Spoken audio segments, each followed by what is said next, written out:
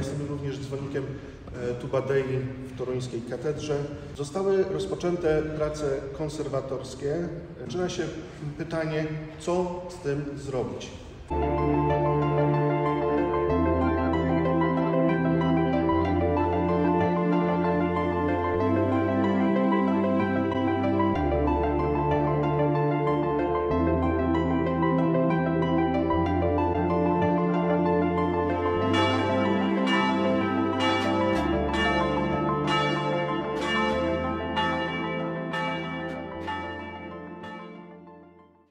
Państwa, tak na co dzień faktycznie zajmuję się organami systemu organicznym, a jestem również dzwonnikiem e, Tubadei w toruńskiej katedrze. E, Też od strony takiej technicznej tym zajmuję. O czym e, dzisiaj chciałem mm, Państwu powiedzieć? Problematyka konserwatorska. Akurat na zdjęciu widzimy dzwon świętego Tomasza z 1494 roku z Nowego Miasta Lwowskiego.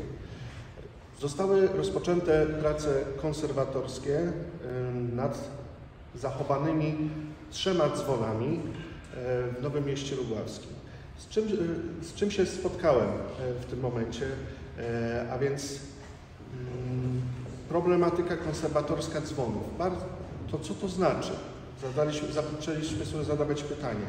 Sam dzwon to tylko klosz, ale przecież ma jeszcze serce, zawieszenie, Dalej, konstrukcja e, drewniana, na której wisi. I tutaj e, trzeba byłoby zacząć e, mówić o całokształcie, nie tylko o samym dzwonie. Bo cóż można zrobić z samym dzwonem? No, chyba jedynie e, umyć. I tutaj e, to jest cały kompleks dzwonowy i tak, jako taki powinien być e, poddawany pracom konserwatorskim. Po wejściu na wieżę spotykamy się z, z dzwonami zawieszonymi na różnych e, urządzeniach wtórnych, w tym przypadku niestety bardzo poważnie wtórnych i niezbyt e, dobrze wykonanych. E, zaczyna się pytanie, co z tym zrobić. Analizując czas powstania dzwonów, wiemy, że w tamtym okresie dzwon był zawieszony na drewnianym jarzmie. A więc teraz zaczynamy myśleć e, w, mm, w kategorii, żeby to e, zmodernizować, przywrócić do maksymalnie pierwotnego stanu. Oczywiście powstaje mnóstwo, ale dlaczego? Po co? Czy to jest złe? E, Proszę Państwa, dzwon kołysany na drewnianym jarzmie ma zupełnie inne przeniesienie brzmienia.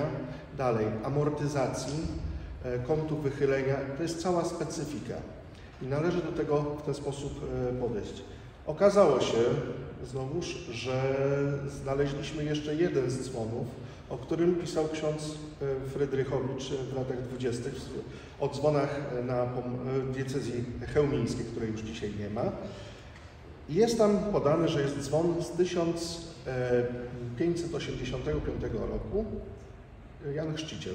Nie ma go. Okazało się, że znalazł się w piwnicy, tylko że popękany.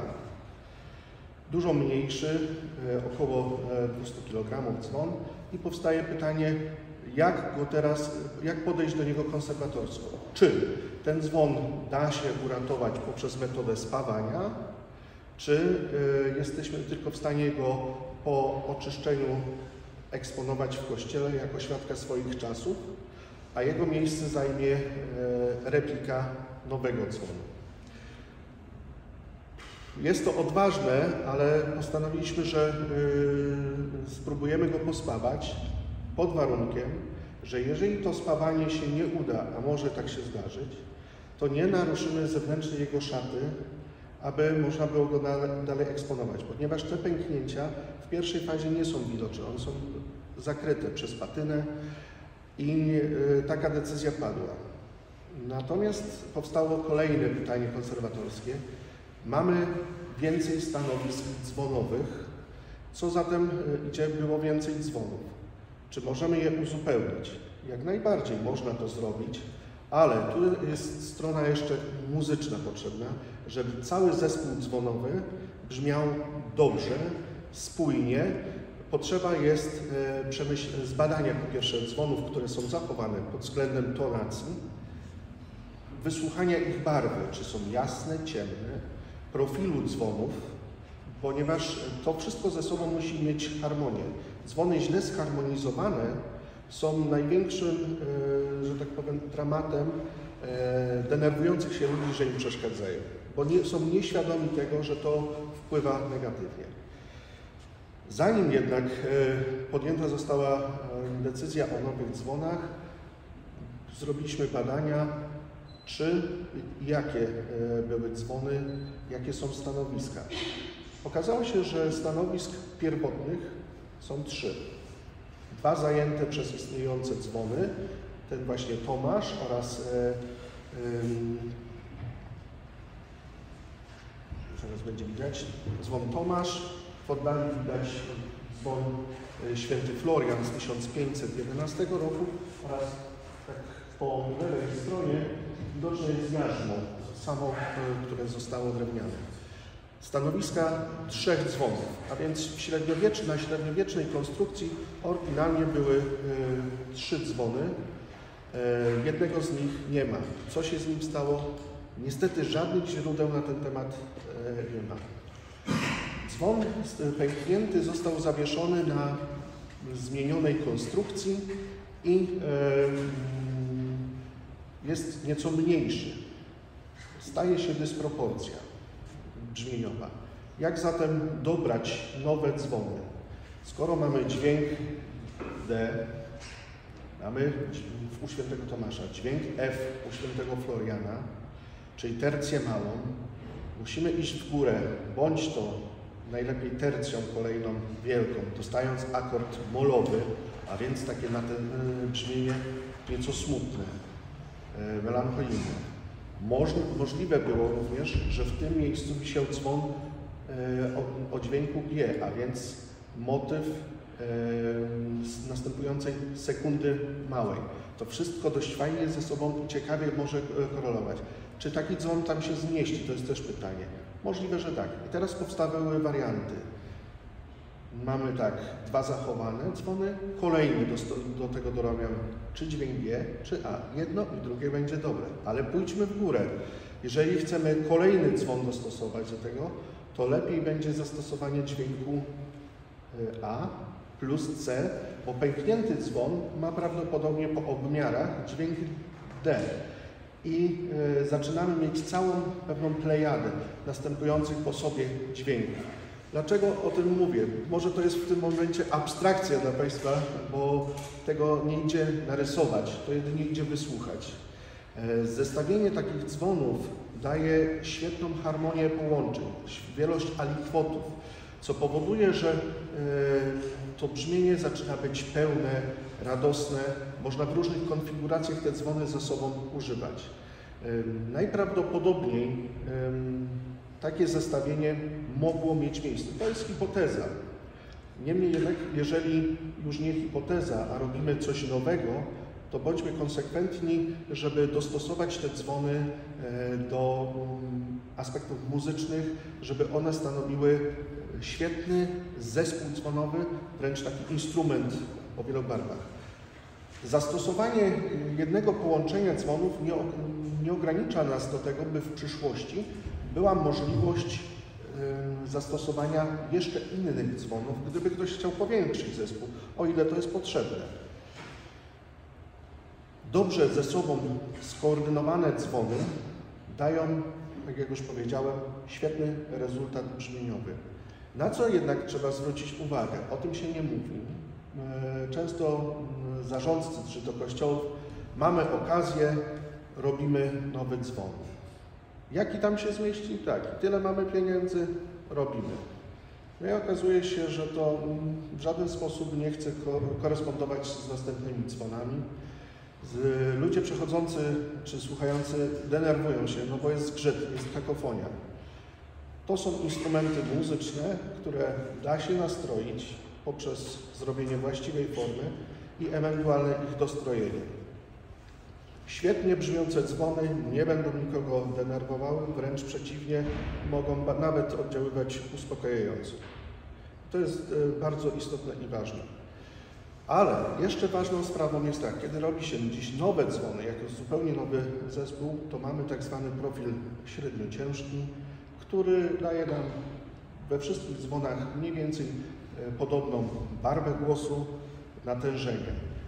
Dzwonach zabytkowych mamy różny profil. Ciężki, średnio ciężki, bardzo ciężki, co daje nam zupełnie inne barwy. I tutaj trzeba na to również zwrócić uwagę, ponieważ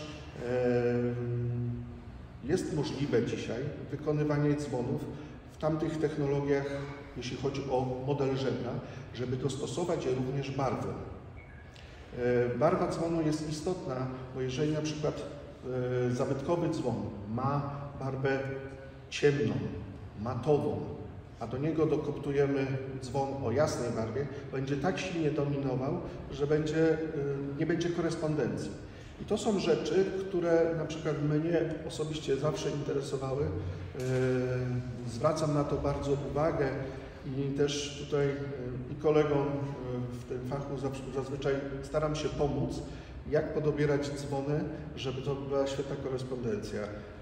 Najciekawszym chyba raz takim momentem, kiedy trzeba było dobrać trzy dzwony do stalowych, to jest kamień śląski. E, I mamy dobrane dzwony odlane normalnie z brązu do dzwonów stalowych. Wszystko ze sobą koresponduje. Da się to zrobić, warunek, że trzeba spokojnie przeanalizować, jakie mamy dzwony do dyspozycji i jak te nowe dzwony dobrać. Jeżeli ktoś mówi, że dzwonów się nie stroi, tak jak wyjdą, tak powinno być. Nieprawda. To jest instrument muzyczny, a każdy instrument muzyczny da się nastroić. Wracając, dlaczego mówię o Nowym Mieście Lubaskim, bo e, to jest akurat bieżąca rzecz, którą e, się zajmujemy w tym momencie. Za dwa tygodnie akurat będzie odlew nowych dzwonów, e, dźwięku A i dźwięku C. Także jeżeli uda się jeszcze to spawanie, które tutaj, o którym będzie potem mowa, no to będzie najbardziej zbliżony zespół, e, taki zrekonstruowany z konserwacją zachowanych trzech dzwonów. Także tyle pokrótce mogę przedstawić, jeśli chodzi o problematykę e, muzyczną. To jest temat naprawdę tak duży, że potrzeba byłoby spokojnie siedzieć i rozważać. Dzisiaj to jest bardziej zasygnalizowanie problemu, z którym warto się zmierzyć, ponieważ Dzwon robi się nie na rok, na dwa, na dziesięć, a najczęściej jest to dziesiątki lat, jak widać i setki. E, problem źle zrobionego dzwonu jest najczęściej nie do cofnięcia. E, dzwoni, dzwoni. Nie, on ma grać, on ma śpiewać. Zresztą dzwon ma coś w sobie takiego, że można go nazwać wręcz jak digitus dei, czyli palec Boży. On potrafi tak e, przenikać e, człowieka i musi być zrobiony e, w sposób bardzo dokładny i dobry. Także tyle, jeśli chodzi o tę stronę muzyczną, co mogę dzisiaj przedstawić.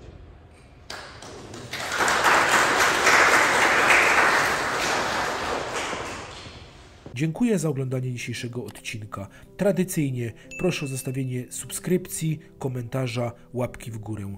Widzimy się w kolejnym odcinku. Dziękuję za uwagę.